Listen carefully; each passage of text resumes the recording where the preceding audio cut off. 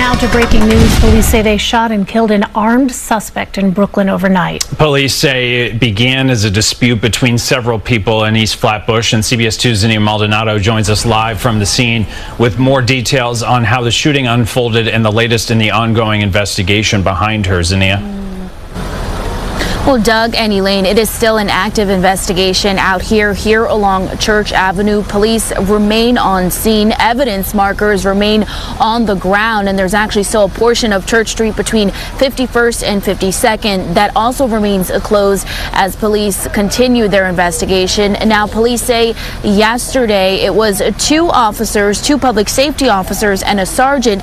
They were patrolling the area here along Church Avenue overnight when they observed an argument taking place in which one man pointed a gun at another man.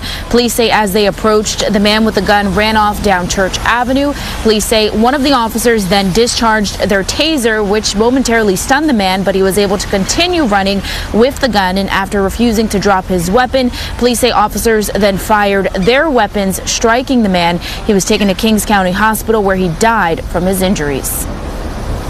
One of the officers discharged their taser, and the taser momentarily, momentarily stunned the male.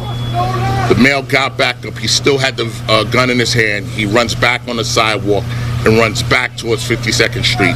The officers give further commands for the male to drop the gun, and they fire their weapons. This all happened just after 1 a.m. at an overnight press conference. Police holding up a photo of the gun they say was in that man's possession recovered from the scene.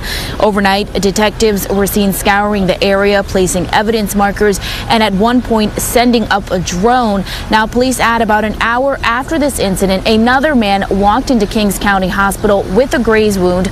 Police say it is part of their investigation to figure out exactly if this person uh, sustained that graze wound during this entire incident as well. We're live from East Flash, Flatbush, Brooklyn. Zinnia Maldonado, CBS 2 News.